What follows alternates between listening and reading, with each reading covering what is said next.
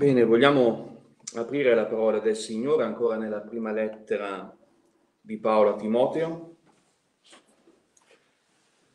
Vogliamo riprendere da dove ci siamo fermati domenica, versetto 11, prima Timoteo capitolo 3 e versetto 11. Un brano che abbiamo visto è riferito alle sorelle, riferito alle donne timorate di Dio, timorate del Signore.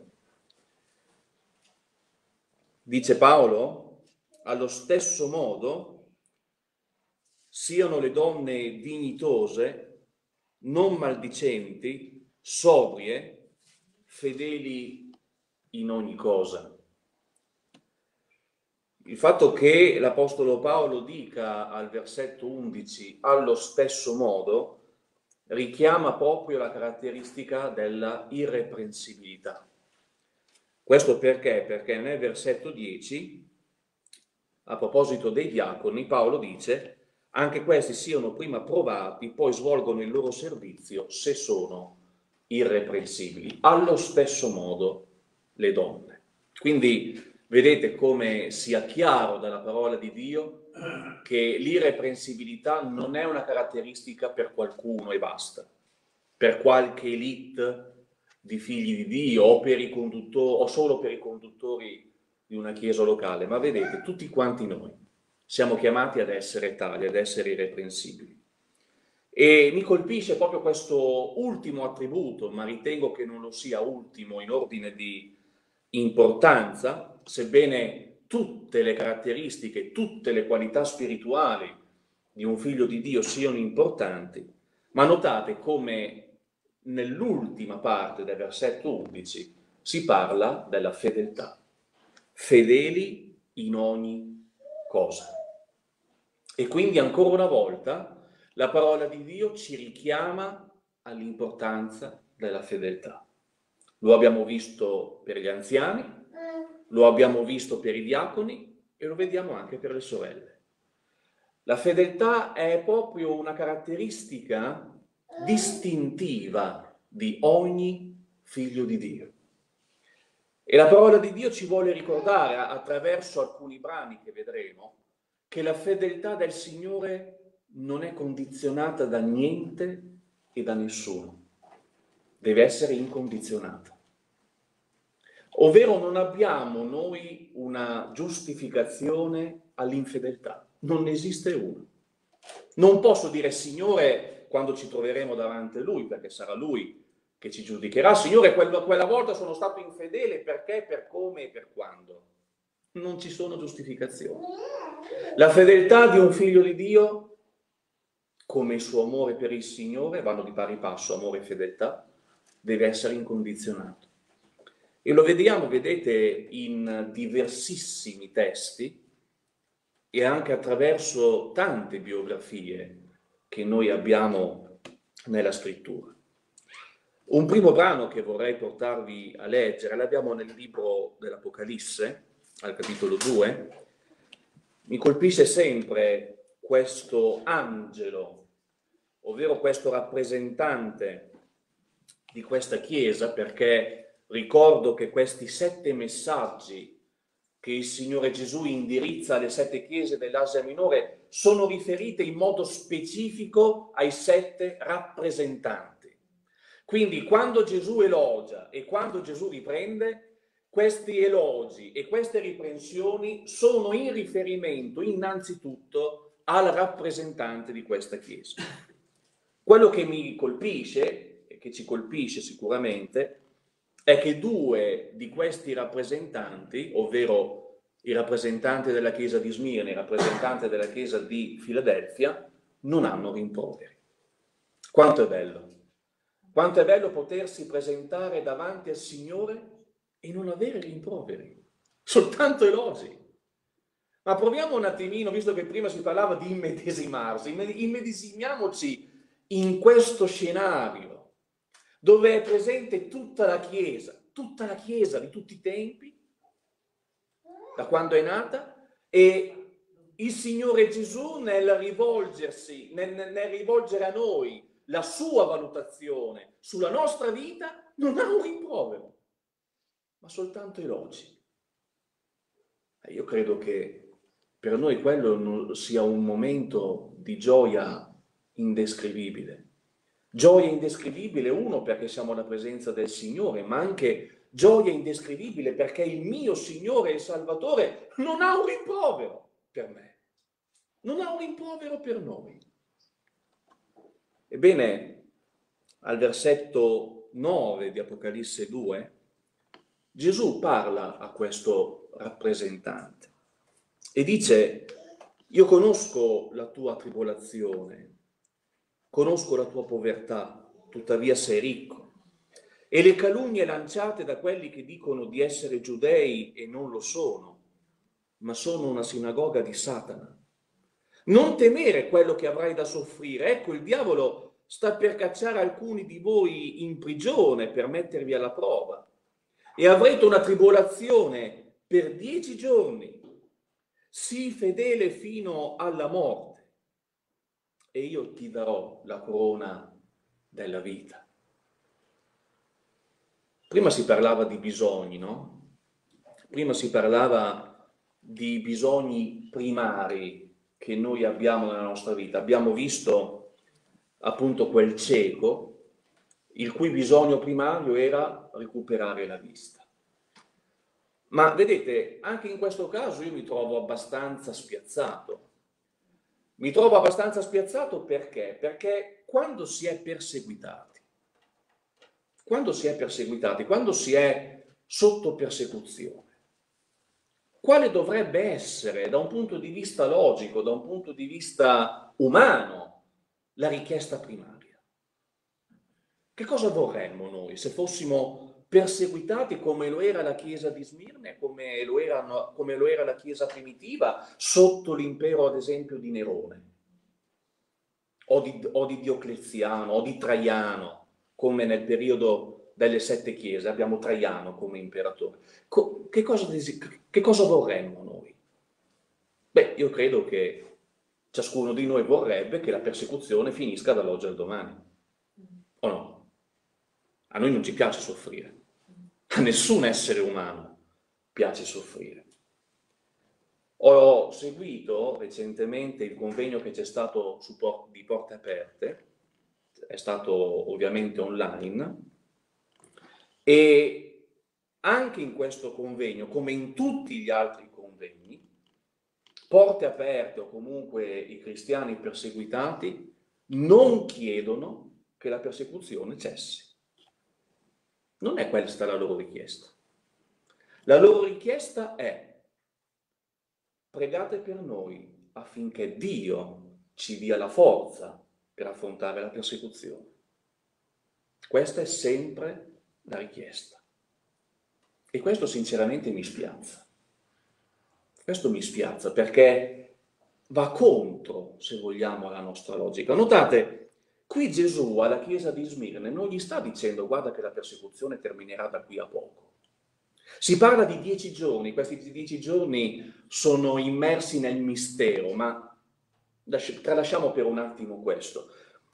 Gesù il Signore che cosa sta chiedendo al rappresentante di questa Chiesa e di conseguenza alla Chiesa di Smirne?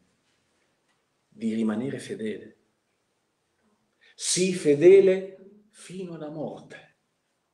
Sii fedele per tutta la tua vita. Sii fedele nonostante i problemi, sii fedele nonostante le angosce, sii fedele nonostante quelle circostanze avverse nelle quali tu puoi essere sii fedele. Questo è il richiamo del Signore Gesù. Ed è il richiamo che rivolge a ciascuno di noi, perché vedete, la cartina tornasole che Gesù userà quando saremo davanti a Lui è la fedeltà. Lui valuterà la nostra fedeltà, la nostra obbedienza o, o la nostra disobbedienza un'ubbidienza e una disubbidienza che può essere manifesta, come può essere segreta nel cuore. Perché noi possiamo anche ubbidire esteriormente, ma disubbidire interiormente. E si chiama ipocrisia. L'uomo è maestro in questo. Siamo maestri in questo. Ma il Signore non lo possiamo ingannare. Noi dobbiamo essere ubbidienti nell'interno e di conseguenza ubbidienti nell'esterno, esteriormente. Nella prima lettera ai Corinzi, al capitolo 4, l'Apostolo Paolo ci parla dell'economo, ovvero dell'amministratore. In greco è oikonomos. E l'amministratore a quei tempi, o questo termine greco, veniva utilizzato per chi aveva delle grandi responsabilità all'interno di una casa o comunque nella società. Potremmo dire oggi l'amministratore delegato di un'azienda. Un'azienda delega un amministratore a gestire le ricchezze, a gestire il capitale, a gestire gli investimenti di quell'azienda. Un esempio noi lo abbiamo di amministratore delegato nella Bibbia che è Giuseppe. Giuseppe fu amministratore delegato in due realtà, nella casa di un egiziano e come vice re d'Egitto. Lì abbiamo l'esempio dell'amministratore.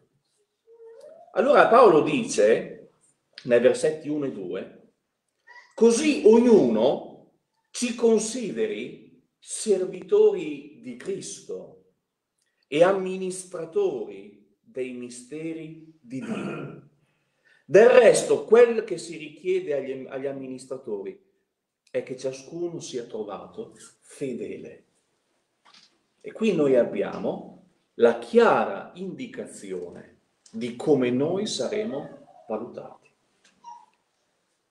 Paolo dice che la Chiesa di Corinto, come tutte le chiese, erano chiamati a considerare l'Apostolo Paolo come servo del Signore. Ma servitore di Cristo, servo di Dio, non è soltanto l'Apostolo Paolo, non sono soltanto gli Apostoli o come oggi vengono chiamati servitori a pieno tempo. Tutti noi siamo servi di Dio, serve di Dio. Perché siamo stati comprati, siamo stati acquistati a caro prezzo per uno scopo, che è quello di servire Dio, non servire noi stessi, non servire i nostri interessi, non soddisfare le nostre passioni, ma servire il Signore. Ma Dio nella sua sovranità si usa di coloro che si vogliono porre al suo servizio, perché Dio non costringe nessuno. Dio non ha bisogno di noi, siamo noi che abbiamo bisogno di Lui. Dio è autosufficiente in se stesso. Dio può compiere i suoi progetti con o senza di noi. Dio li porta a termine, comunque, perché è autosufficiente, pienamente autosufficiente a se stesso. Siamo noi che abbiamo bisogno di Lui. Siamo noi che abbiamo bisogno di servirlo, noi proprio. Abbiamo bisogno di sentirci al servizio del, del Signore. E come servi del Signore, come servi di Cristo, l'Apostolo Paolo si definisce amministratore dei misteri di Dio. Cioè vuol dire che Dio le sue ricchezze, i suoi misteri, li ha consegnati a noi da gestire ad esempio il Vangelo. Il Vangelo è una meravigliosa ricchezza che noi abbiamo nella parola di Dio, il potente messaggio della salvezza. Il potente, quel potente messaggio che è capace, che è capace di cambiare la vita di ogni essere umano, la vita di ogni uomo, la vita di ogni donna. Ed il Signore ce l'ha donata in ciao Gabriele, ce l'ha donata in gestione, cioè, ha donato noi questo potente messaggio in gestione. Questa mattina Pasquale, non so se c'è anche Benny, c'è anche Benny stamattina, ah no, ok, Pasquale è al banchetto e lui è, sta amministrando questo messaggio. Noi ogni giorno della nostra vita. Siamo amministratori del Vangelo di Dio. La domanda è come stiamo gestendo, come stiamo gestendo la ricchezza, questa potente ricchezza che il Signore ci ha affidato. Io personalmente di fronte ad una tale responsabilità tremo, tremo perché è una responsabilità veramente altissima, ma ognuno di noi ce l'ha, ognuno di noi ce l'ha. E vedete, questa fedeltà, l'Apostolo Paolo, come noi abbiamo letto in Prima Timoteo 3, è anche in relazione ad una donna che è timorata di Dio, ad una donna che è consacrata al Signore, indipendentemente dalla situazione familiare nella quale è. Chiamata ad essere fedele. È chiamata nel suo ruolo di moglie nei confronti del marito ed è chiamata ad assolvere a quel solenne compito di consigliera, di saggia consigliera del marito. Perché ci possono essere delle situazioni nelle quali purtroppo non dovrebbe accadere così. Il marito non è fedele. E il marito si sta deviando. E allora come si comporta una moglie consacrata? Io devo essere fedele al Signore. Io devo essere fedele in ogni cosa, come mi dice qui l'Apostolo Paolo. E allora intervengo nel mio ruolo di moglie, nel mio ruolo di aiuto convenevole, nel cercare di far riflettere il compagno, il marito che io ho a fianco. Essere fedeli al Signore è incondizionato. E questo mi porta, ci deve portare ad una consapevolezza veramente del, della responsabilità che il Signore ci ha affidato. Allora andiamo a, uh, non l'ho fatto la volta scorsa, ma lo voglio fare questa mattina brevemente, a Proverbi capitolo 31. Vogliamo dare un, uno sguardo a questo capitolo così straordinario che ci parla di questa donna. Possiamo dire che eh, Salomone, anche se il capitolo 31 non lo ha scritto lui, sapete che il libro dei proverbi ha diversi autori umani, ma, e non soltanto Samuele, eh, Salomone, Proverbi 31 è scritto da Lemuel, sono parole del, di un re, ovvero Lemuel. E questo re parla di questa donna. E queste parole, questo è molto importante, che cosa leggiamo al versetto 1? Parole del re Lemuel, notate, massime che sua madre gli insegnò. È interessante. Lemuel non inventa nulla. Lemuel sta trasmettendo a noi a distanza di millenni, a distanza di millenni, l'esperienza e l'insegnamento che lui aveva ricevuto da sua mamma, da sua madre. E persino Salomone, quando parla suo figlio, lo leggete, lo leggete, nei primi capitoli, adesso mi sfugge la citazione, che cosa dice Salomone? Quando me ne stavo tra, le, nel, tra, il seno di mia mamma, quando stavo sulle gambe di mio padre, io ho ricevuto questi insegnamenti. E chi erano il papà e la mamma di Salomone? Davide e Batseba. Quando io ero là, quando Bezzabea, mia mamma Bezzabea mi parlava, quando mio padre Davide mi parlava, ora a te figlio ti trasmetto la stessa cosa. Quegli insegnamenti che io ho ricevuto. Ed è bello, vero, che l'Apostolo Paolo a Timoteo dice queste cose perché Timoteo deve ringraziare due donne per ciò che Timoteo era, ovvero sua mamma e sua nonna. Due donne hanno segnato profondamente la vita di quest'uomo di Dio. Allora, che cosa ci dice Lemuel? Versetto 2. Che ti dirò, figlio mio? Quindi anche eh, adesso non, non vi so dire se Lemuel sta parlando a suo figlio, anzi no, credo che sia la mamma quando, quando parlava lui. Che ti dirò, figlio mio? Che ti dirò, figlio del mio grembo? che ti dirò, o oh figlio dei miei voti. Bella questa espressione.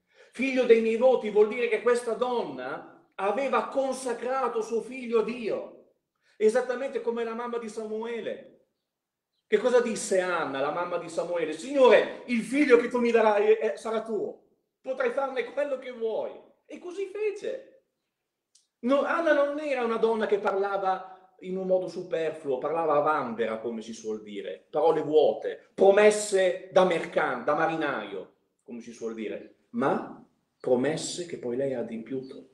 E quando nacque Samuele, il primo pensiero di Anna fu quello di consacrare suo figlio al Signore. Dire un figlio dei miei voti vuol dire che la mamma di, di, di Lemuel aveva consacrato questo figlio al Signore. Non dare il tuo vigore alle donne, non frequentare quelle che mandano in rovina i re. Direi che è un consiglio molto saggio questo. Eh? Non si addice ai re Lemuel, non si addice ai re bere del vino, né ai principi desiderare bevande alcoliche che a volte dopo aver bevuto non, non dimentichino la legge e calpestino così i diritti di tutti i deboli. Perché questa mamma riferisce dà questo consiglio a Lemuel perché a quei tempi i re pagani si lasciavano, si lasciavano andare alle gozzoviglie, si lasciavano andare alla lussuria. Basti notare quello che noi leggiamo nel primo capitolo del libro di Esther, quando il re Assuero fa quel gran convito e immaginiamoci com'erano quei conviti, dove eh, que- questo re chiama sua moglie, la regina a suo tempo, Vasti, affinché ballasse davanti a tutti, come se fosse un oggetto, come se fosse un oggetto in vendita. E così erano i conviti. Così festeggiavano i re pagani. E questa mamma dice, Lemuel, devi distinguerti. Tu sarai re di, sei, sei un re del popolo eletto. Tu non puoi fare come fanno gli altri. Tu non ti devi conformare agli altri, a quello che fanno gli altri re. Tu devi stare a quello che dice la legge quanto è bello questa mamma che guida suo figlio all'ubbidienza della Torah, di quella legge che Dio aveva dato a Mosè. Date bevande alcoliche, versetto 6, a chi sta per perire, del vino a chi ha il cuore amareggiato, perché bevono, dimentichino la loro miseria e non si ricordino più dei loro travagli. Che cos'è che succede ad un ubriaco tante volte? Perché tante persone cadono nella, nella, nella droga dell'alcol, proprio per, perché subissati no, dai problemi e allora si lasciano andare all'alcol per temporaneamente dimenticarsi di quei problemi che attanagliano i loro cuori. Queste sono parole ironiche di questa donna. Che bevino, lasciali, lasciali bere. Lascia, loro lasciali bere. Che affoghino i loro problemi nelle bevande alcoliche, ma tu comportati diversamente. Apri la bocca in favore del muto per sostenere la causa di tutti gli infelici. Apri la bocca, giudica con giustizia. Fai ragione al misero, al bisognoso. Bellissimo. Guardate come questa donna guida suo figlio nel sostenere i deboli, nell'aiutare chi è in difficoltà, come, cosa che doveva fare effettivamente un re aiutare il debole, aiutare l'orfano, aiutare la vedova. Ecco perché nell'Antico Testamento Dio è visto come il protettore dell'orfano, della vedova, del bisognoso. E poi dai versetti 10 a 31 abbiamo questo inno, possiamo dire, possiamo dire così, questo inno, questo elogio di questa donna virtuosa, una donna ipotetica, ma non è una donna che non esiste è una donna che esiste. È una donna il cui carattere, la cui vita è modellata dall'azione dello Spirito Santo. Una donna virtuosa, chi la troverà? Il suo pregio sorpassa di molto quello delle perle. Vedete, la perla è un simbolo di paragone nella scrittura per parlare di una ricchezza grandissima. Vi ricordate la parabola del mercante che va in cerca di una bella perla e vende tutto quello che ha per acquistare quella perla? Vende tutto quello che ha perché vuole quella perla. Ebbene, qui questa, questa mamma dice a Lemuel, se tu troverai una donna così, quando tu troverai una donna così, sappi che tu hai acquistato, che tu hai una ricchezza ben superiore a quella delle perle. E non è forse così per un marito che vuole servire Dio? Avere a fianco una donna che l'aiuta nel servizio, una donna consacrata, una donna che sa dare i giusti consigli, che sa intervenire al momento giusto. Il cuore di suo marito confida in lei ed egli non mancherà mai di provviste. Lei gli fa del bene e non del male tutti i giorni della sua vita. È bello questo marito che può avere una fiducia totale, una fiducia al 100% nei confronti di sua moglie. Si procura lana e lino, lavora gioiosa con le proprie mani, è simile alle navi dei mercanti, fa venire il suo cibo da lontano, si alza quando ancora è notte, distribuisce il cibo alla famiglia e il compito alle sue serve. È un'amministratrice perfetta di casa. Abbiamo notato eh, il suo pensiero è il benessere della famiglia, è il benessere di suo marito, il benessere dei suoi figli sa gestire, qui si parla ovviamente di una donna che è ricca, perché si parla di serve al suo servizio, ma non è una, come possiamo dire, una donna sconsiderata, non è una donna che lascia andare la sua famiglia in vie storte, ma è una donna assennata. È una donna che sa gestire bene le ricchezze, un'amministratrice possiamo dire anche a livello economico.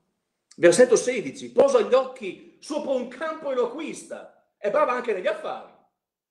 Posa gli occhi sopra un campo e lo acquista. Con il guadagno delle sue mani pianta una vigna.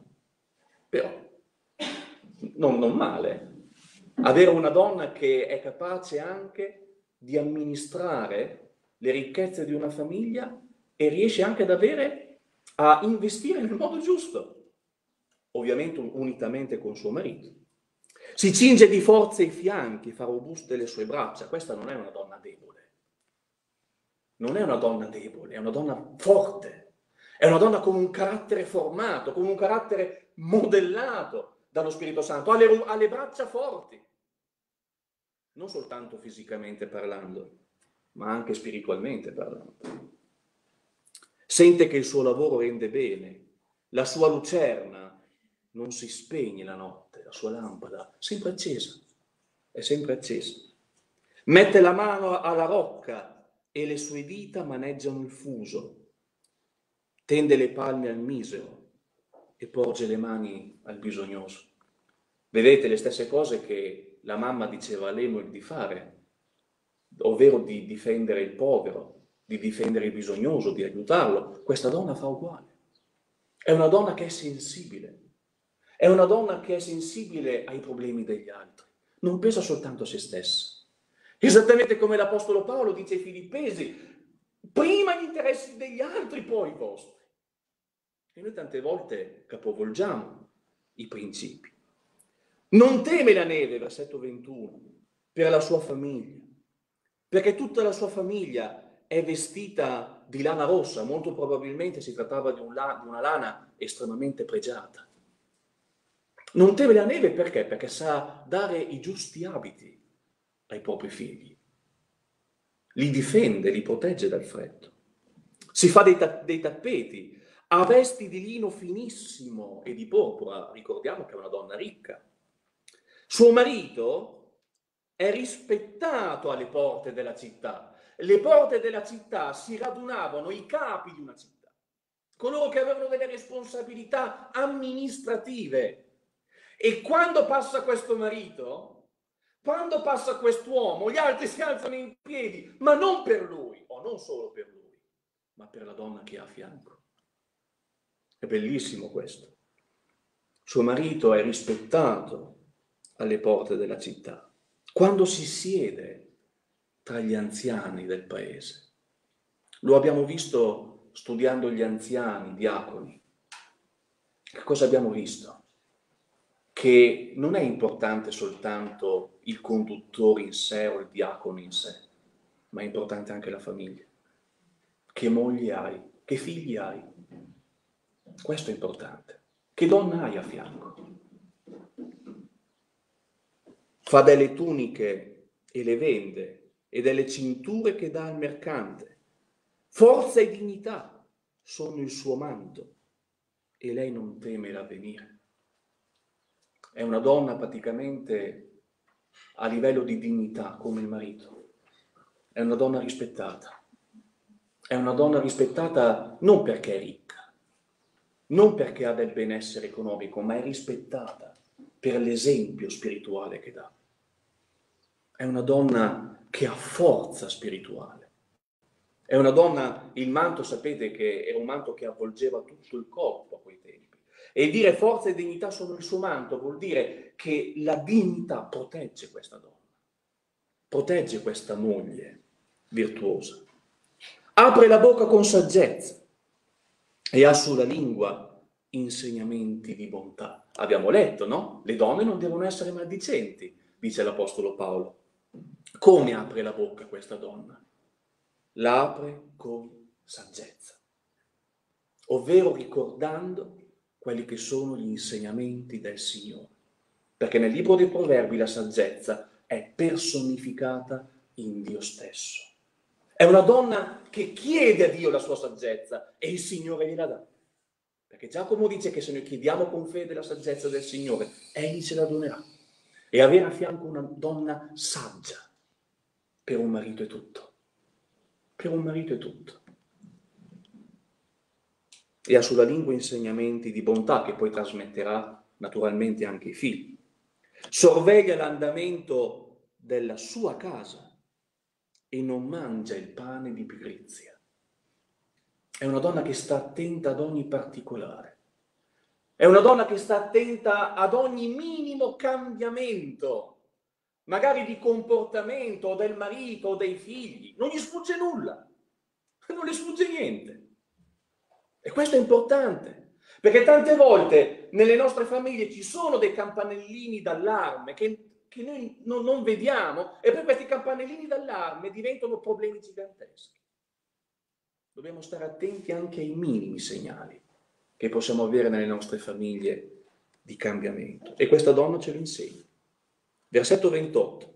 I suoi figli si alzano e la proclamano beata. Ma quanto è bello. Avere dei figli che dicono mamma, come te non c'è nessuno. Ma non te lo dicono dei bambini di 5 anni o dell'età di, di mio figlio Jonathan, ma te lo dicono figli che hanno 20, 30, 40 anni. Come te non c'è nessuno. Tu le superi tutte. La, sei la migliore mamma del mondo. E questo è veramente molto bello. Suo marito la loda. E qui abbiamo un insegnamento per noi mariti. Non diamo tutto per scontato. Non diamo tutto per scontato perché le donne hanno un peso all'interno della famiglia, a livello di lavoro, a livello di impegno. Siamo chiamati ad elogiarle, siamo chiamate a avvicinarci a loro affinché loro possano sentire che noi mariti li consideriamo veramente. E questo marito la lode in che modo? Versetto 29, molte donne si sono comportate da virtuose, ma tu le superi tutte. E ogni marito dovrebbe dire così della propria moglie.